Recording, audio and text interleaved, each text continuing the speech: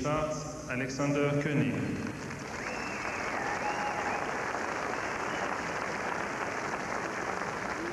Peggy Schwarz and Alexander Koenig of East Germany were European bronze medalists in 1988, and they appeared to be a definite threat for the Olympic podium position, but they failed it. They were not at this year's Europeans. They're from Berlin, second at Skate Canada. From East Germany, Schwarz and Alexander Koenig.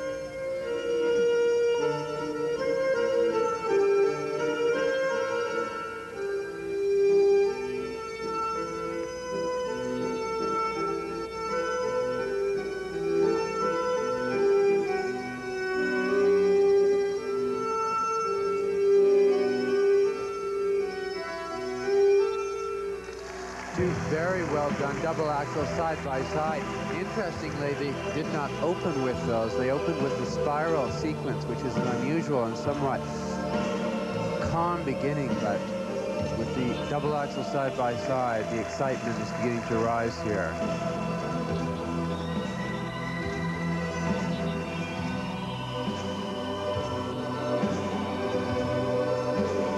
Two excellent camel spins combination spins.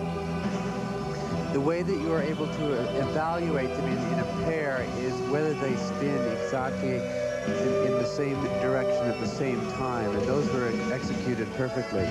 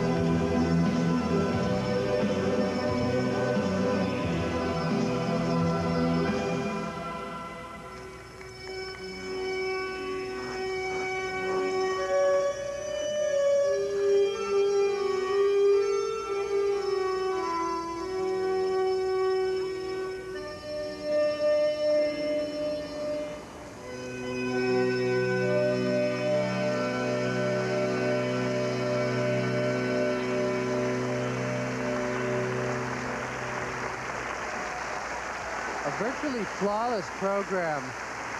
Also a flawless program early on in the program and really sort of shakes up the pile as to what is going to happen. They'll have to give them rather high marks here because although the other skaters haven't come, this was a program that was virtually without a mistake. With this East German couple, the, the program they skated was as mentioned before, virtually without a mistake. And it was an excellent combination of good single skating as well as very well matched pair skating. The only criticism, I guess, that I would have had for the program is I found their costumes to be a little bit optical and I wasn't able to concentrate fully on the body line. But other than that, the program was was an excellent one and had some elements of originality as well. And the program is now referred to as the original program. We have seen their set first set of marks, that is their technical marks, and they ranged from 5-2 to 5-6s. And their second set of marks, which are for artistic impression, start at 5-2 and range up to 5-6s. The marks for Koenig and Schwarz. This is the first competition at these year's Worlds, the pairs original, and we'll be back after this. Canada's